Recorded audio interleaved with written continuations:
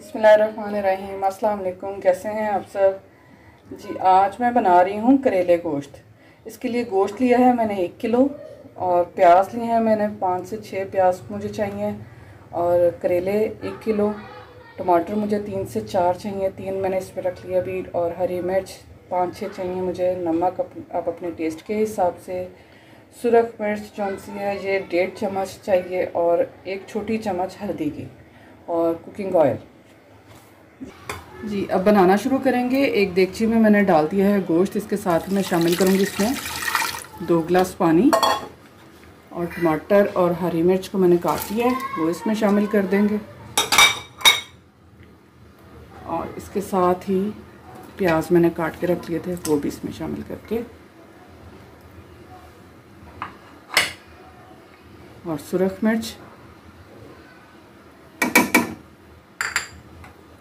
नमक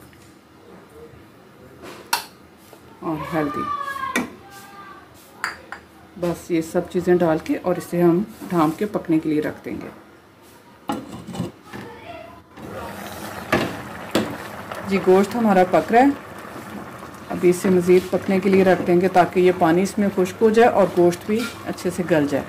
इसे करते हैं दूसरे चूल्हे पे और करेलों को मैंने काट लिया उन्हें करते हैं अब फ्राई।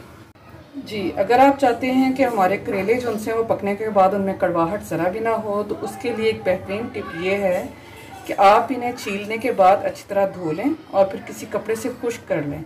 और खुश्क करने के बाद इन्हें काटें और इनके बीज वगैरह निकाल दें। नमक बिल्कुल भी नहीं लगाना और इसी तरह इन्हें फ्राई कर लेना है। ठीक है, फ्राई कर लेंगे और पानी बिल्कुल नहीं लगा हुआ होना चाहिए। तो फ्राई करके तो आप इसे रख लें और स्टोर भी कर सकते हैं फ्रीज भी कर सकते हैं। तो ये काफ़ी टाइम जो आपके ठीक रहेंगे करेले। और पकने के बाद कड़वे भी बिल्कुल नहीं होंगे। जी ऑयल हो चुके गर्म। अब इसमें मैं डालूँगी करेले।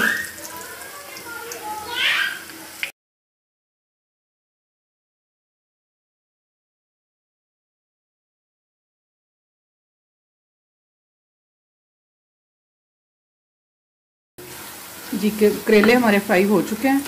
बस इतने ही मैंने फ्राई करने थे। क्योंकि ज़्यादा ब्राउन करेंगे तो वो, उनका टेस्ट थोड़ा डिफरेंट हो जाएगा। इस बात का ख्याल रखें कि जो इसमें चम्मच इस्तेमाल करें, वो भी बिल्कुल गीला नहीं होना चाहिए और जिस बर्तन में आप निकाल रहे हैं, वो भी बिल्कुल खुशक होना चाहिए। गीला ना हो। जी, गोश्त भी हमारा हो चुका है तैयार। इसका पानी भी खुश्क हो चुका है और गल भी गया है ये बहुत अच्छे से। इसको हम भून लेंगे अभी। थोड़ा सा बिल्कुल ऑयल इसमें डालूँगी मैं। तकरीबन दो से तीन चम्मच।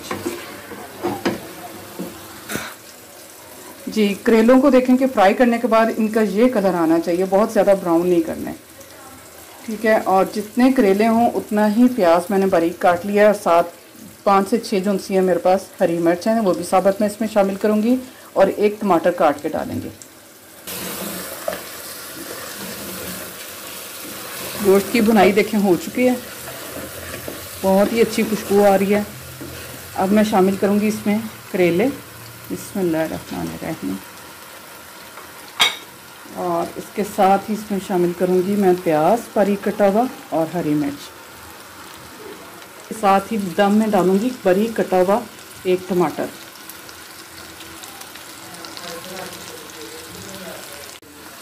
इसमें करेले, प्याज और टमाटर हरी मिर्च डाल के इसे मैं रख दूँगी तकरीबन 20 मिनट के लिए हल्की आँच पे, दम पे। जी, करेले गोश्त हमारे रेडी हैं। चूल्हा कर देंगे बंद और इसे करते हैं डिश आउट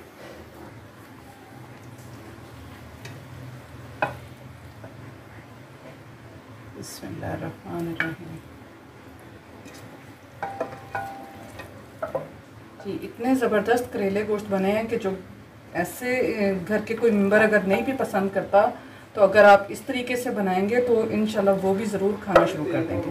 बहुत ज़बरदस्त। खुशबू भी बहुत अच्छी आ रही है और टेस्ट भी इनका बहुत ही आला होगा। और बिल्कुल भी कड़वे नहीं होंगे होंगे करेले बिल्कुल भी। अगर आप इस तरीके से स्टेप बाय स्टेप ऐसे ही बनाएँगे तो इनमें कड़वाहट ज़रा भी नहीं होगी।